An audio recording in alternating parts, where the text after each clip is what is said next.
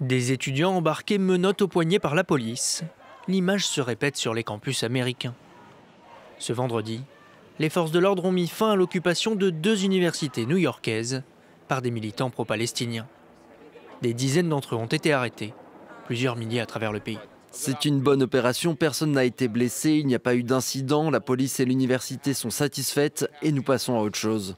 Cette jeunesse engagée réclame la fin de l'aide militaire américaine à Israël, l'arrêt du conflit à Gaza et une rupture des liens entre leur université et l'État hébreu. De New York à Seattle, en passant par Portland, le mouvement SM d'est en ouest des États-Unis.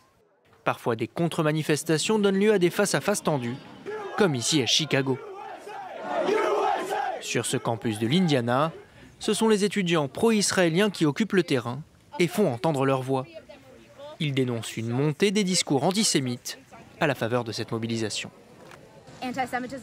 L'antisémitisme a tendance à monter en flèche chaque fois qu'Israël est mentionné dans l'actualité.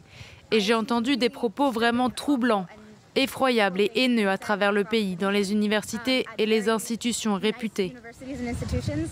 Joe Biden a appelé à un retour à l'ordre sur les campus. Ce mouvement étudiant, remettant en cause le soutien inconditionnel des États-Unis envers Israël, divise sa base électorale. Un clivage qui pourrait mettre le président démocrate dans une position délicate dans sa course à sa réélection.